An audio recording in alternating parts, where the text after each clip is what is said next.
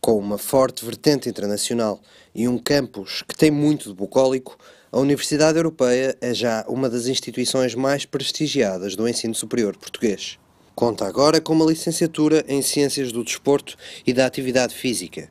O coordenador será Luís Vilar, que entra em funções a partir do dia 15 de setembro. O SAP Desporto conversou com o investigador e professor universitário sobre a nova oferta da Europeia.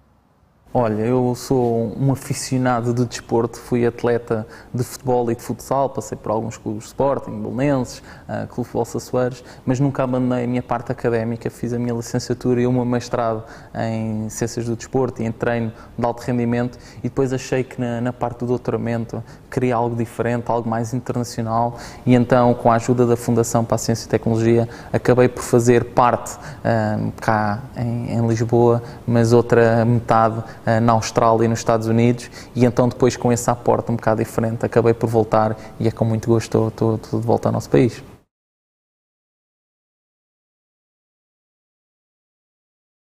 Bom, o modelo pedagógico tem um conjunto de pontos muito importantes. Eu gostava só de destacar dois ou três. Primeiro, um, tradicionalmente, o que vemos nas universidades é uma grande decisão entre o que são as áreas mais teóricas do conhecimento, como o caso da fisiologia ou da biomecânica, e as áreas práticas, como seja uh, o futebol ou o handball. Um, os alunos acabam por sair das universidades a saber muito de futebol, a saber muito de biomecânica, mas depois não percebem como é que essas áreas do conhecimento conceptuais e operacionais se unem. Na Universidade Europeia, o plano de estudos é construído de uma forma sistémica, em que as, as temáticas, por assim dizer, operacionais e as temáticas conceptuais estão unidas num só bloco. Imagino o que seria uh, a biomecânica acontecer em simultâneo nas aulas de futebol, em simultâneo nas aulas de basquetebol e nas aulas de atletismo e quando entra então o módulo da psicologia também acontecer em simultâneo nas várias áreas operacionais, isto permite que os alunos percebam exatamente um, como é que estas áreas se unem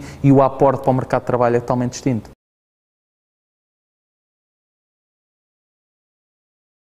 Na área do desporto, nesta universidade, um, há quatro grandes perfis, e não é só nesta universidade, como em, em, muitas outras, mas há quatro grandes perfis. O primeiro grande perfil tem a ver com a gestão do desporto. Um, a gestão do desporto é uma área que já vem, vem sendo hábito nesta universidade, na Universidade Europeia, porque já existe o curso de gestão do desporto há algum tempo mas na área das ciências do desporto e da atividade física, que é este curso novo que, que vai começar agora, há três grandes perfis. O primeiro perfil tem a ver com o professor de educação física, um, o segundo grande perfil com o treinador de desporto e o, e o terceiro grande perfil tem a ver com, com, o técnico de exercício ou com o diretor técnico que atua mais uh, nos ginásios e, e também outdoor, mas sobretudo mais nos ginásios. Contudo, atualmente o, o que reparamos é que existe uma tendência para a formação do aluno uh, no ensino superior ser baseada unicamente nas hard skills. Nós chamamos hard skills as áreas conceptuais e formais do conhecimento. Um, aqui na Universidade Europeia existe uma, uma tradição e uma, e uma visão um bocado diferenciada que procura especializar também o, o, o aluno naquilo que são competências sociais, competências muito ligadas à inteligência emocional dos alunos, porque acreditamos que isso hoje em dia é diferenciador.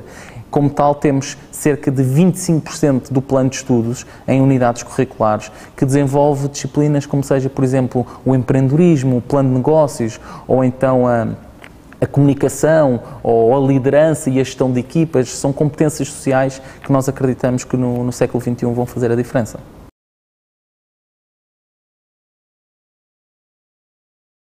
A internacionalização é um tema muito querido à Laureate University, uh, International Universities.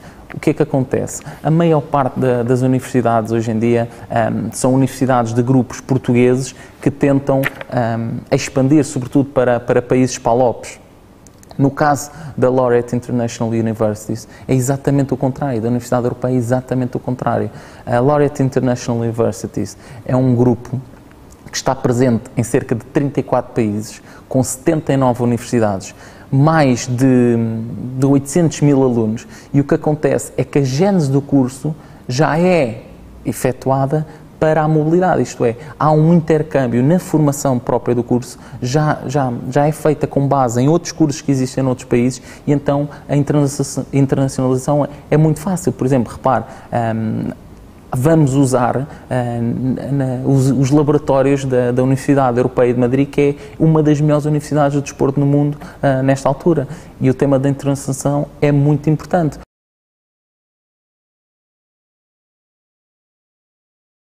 O tema da empregabilidade para a Universidade Europeia é algo que, que é muito, muito particular e muito querido na sua própria gênese. Um, por exemplo, um, existe um ciclo de estudos transversal a muitos cursos em que CEOs das principais empresas se deslocam ao campus e, e comunicam e falam com os alunos sobre as principais uh, tendências de, e perfis de, de, alunos que estão a contratar. Imagino que seria termos aqui presidentes do, do, do Benfica ou mesmo do Real Madrid com quem a Universidade Europeia tem uma parceria muito própria, como já cá esteve há pouco tempo o Emílio Butraguenho, a dizer quais quais são os perfis de profissionais que procuram.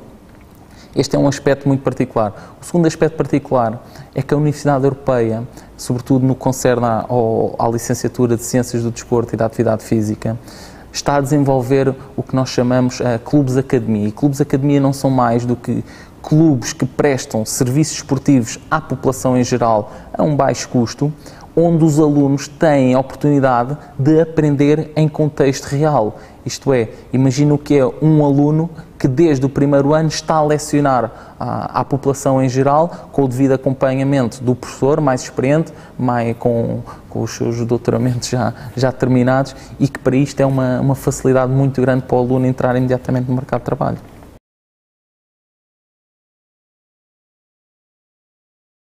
O que eu tenho a dizer aos futuros alunos da Universidade Europeia é que têm que pensar diferente, não podem uh, procurar mais do mesmo, têm que ser distintos e têm que ser distintos em determinados vetores que têm que ser competitivos. Têm que ser competitivos num mundo que cada vez é um mundo mais pequeno. Nós não podemos pensar, vou estudar em Lisboa para lecionar ou para trabalhar em Lisboa, eu tenho que estudar em, em algum local para trabalhar no mundo. E para trabalhar no mundo é preciso desenvolver algumas competências um, que são competências que são não só uh, técnicas, como nós chamamos a hard skills, mas também são competências sociais, como são as soft skills, competências mais associadas à inteligência emocional. E esse é uma preocupação de gênese da, da Universidade Europeia. Com variadas oportunidades de mobilidade internacional e uma relação próxima com o mercado de trabalho, a licenciatura do Desporto e da Atividade Física inclui ainda a realização de um estágio obrigatório. Para mais informações, vá a europeia.pt.